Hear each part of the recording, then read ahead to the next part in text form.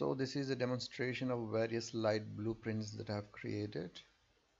And the first one is a blueprint that places lights on the surface.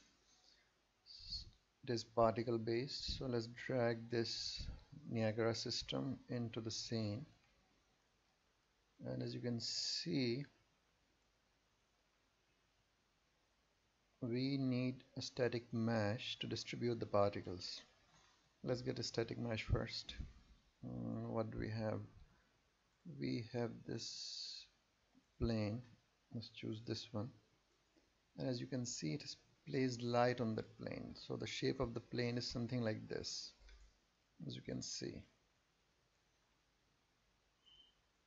And this blueprint has placed light all over the surface of that plane. We can control the number of lights. Let's increase to 500 and we can change the color as well. Let's change to something like blue. Okay. We can increase the number to let's say 2000 as well. We can make as many copies as we want of the system. One two. Okay it does not matter. So let's delete this because we already have placed it in this placed it in the scene. So let me unhide it.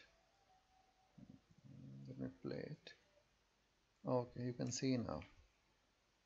Fine. And we can use the same technique to place the lights on this Christmas tree. We'll use uh, use this plane to distribute lights around the Christmas tree. And then we choose this tree as a static mesh. Okay. Then we place it on the tree somewhere okay now this system you don't have much control over the light. You can, can cannot control their timings. So there is another light system that we have. And this is spline based for example you drag and drop it in the scene and you have this spline. You can give this spline any shape you like. The shape and something like this okay sort of a wave. And then here you can control the number of lights you want on this line let's say 50 and we place these tiny bulbs. Let's change it to 100 okay. And you can give it a random rotation. Okay. And I have you can use the same spline to decorate the Christmas tree. Okay.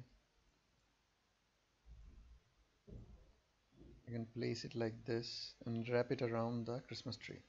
But I've already done it before so I'll just delete it and unhide the tree lights.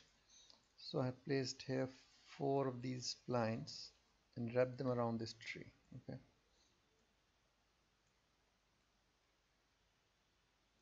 It from here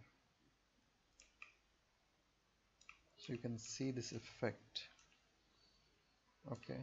Now now I have also placed in the scene something else which is the wave light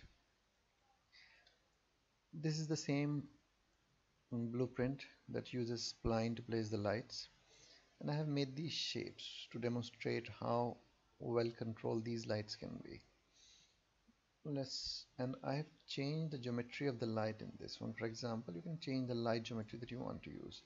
In this one I'm using these boxes. You can change it to something like um, balls you can change the size as well. Okay. You can change it to any shape you like but I'll use these boxes right now. Let's see 4 and 4 scale and length is 2 so let's play it now and this looks like this right now. Okay. So let's play with these lights first. And we are in the wave light can you change the delay here? Yep we can. You see immediately the wave is changed and we can select all of them and change the delay system to some to 0.1 okay. If we change it to 0.5 be something like this. 102